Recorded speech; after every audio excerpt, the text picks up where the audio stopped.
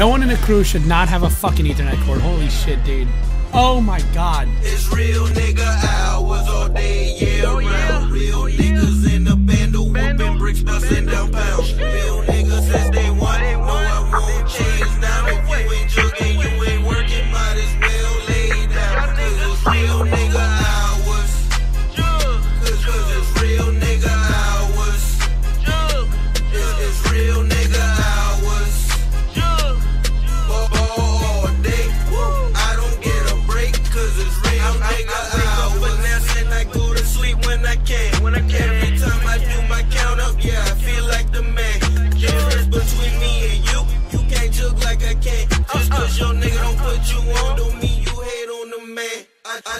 Não with